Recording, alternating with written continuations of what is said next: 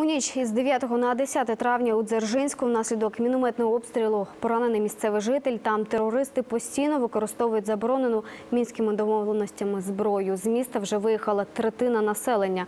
До окупованої бойовиками Горлівки усього 4 кілометри. З прифронтового Дзержинська повернулася Наталія Балюк.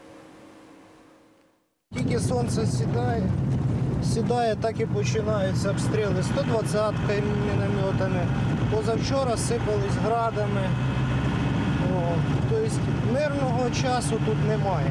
Прифронтовий Дзержинськ – одна з найгарячіших точок у секторі С. Військові спілкуються охоче, але просять не називати їхніх позивних. Крадіжок тут мало, в основному проникнення груп ДРГ, диверсіонних груп.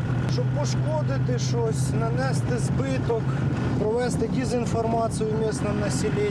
В основному такі у нас тут Їхній службовий транспорт без дверей. Це кажуть бійці на випадок, якщо в автомобіль попаде снаряд.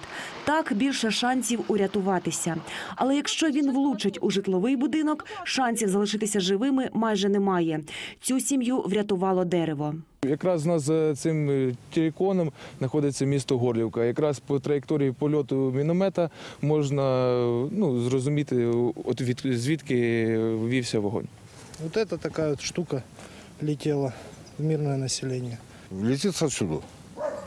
Ну, про- я правду говорю, я, я не буду ничего выдумывать. Я не знаю, кому верить, честно. России ему нахер не нужно, вот честно говорю. Страшно, конечно. А чому ви не виїздите з цієї території? А куда? Нам некуда. детей боимся вести, потому что школа, садик, неизвестно, что будет завтра или сейчас хотя бы. Вот мы стоим разговариваем, могут начаться выстрелы. У Дзержинську не працюють українські канали. Їх, кажуть місцеві, глушать з боку Горлівки. Російські працюють справно. Можливо, саме через пропаганду, кажуть бійці, більшість населення до української армії налаштоване агресивно. Кого нас вообще-то защищают, вообще-то от кого-то нас защищают.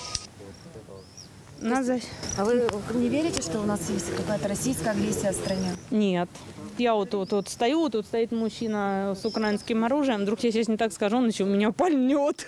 Они все равно что ж не покажут, Оксан. Ну. Хотим жить. Хотим. Да. Да, да. Чтобы у нас все было. А вы нам не даете. За Россию мы не голосовали. Вот скажите, мы не голосовали. Мы хотели автономии в составе в Украины. Вот. Але додають, такої автономії, як у Горлівці, де не виплачують пенсії, вони не хочуть. Про мир та спокій у прифронтовому Дзержинську мріють не тільки місцеві мешканці. Втомилися від війни і військові. З одного боку їх криють градами, з іншого прокльонами. Та бійці кажуть, вони вистоять заради мирного майбутнього. З дружиною, з дитиною відпочивати. Хочеться швидше мира і спокій. Наталія Балюк, Олександр Колосов. Новини на першому.